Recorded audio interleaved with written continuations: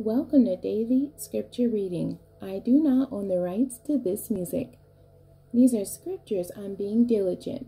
Diligent, having or showing care and conscientiousness in one's work or duties, can mean to be industrious, particular, hardworking, careful, thorough. It can mean to be attentive, heedful, intent, earnest, or even studious. I will read the King James Version of Luke chapter 19, verses 1 through 10. And Jesus entered and passed through Jericho. And behold, there was a man named Zacchaeus, which was the chief among the publicans, and he was rich. And he sought to see Jesus, who he was, and could not for the press, because he was little of stature.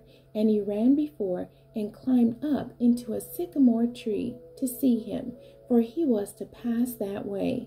And when Jesus came to the place, he looked up and saw him, and said unto him, Zacchaeus, make haste, and come down, for today I must abide at thy house.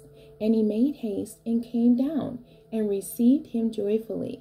And when they saw it, they all murmured, saying, That he was gone to be guest with the man that is a sinner. And Zacchaeus stood and said unto the Lord, Behold, Lord, the half of my goods I give to the poor. And if I have taken anything from any man by false accusation, I restore him fourfold. And Jesus said unto him, This day is salvation come to this house, for so much is he also is a son of Abraham. For the Son of Man is come to seek and to save that which was lost. The end. God bless you and thank you for joining me today.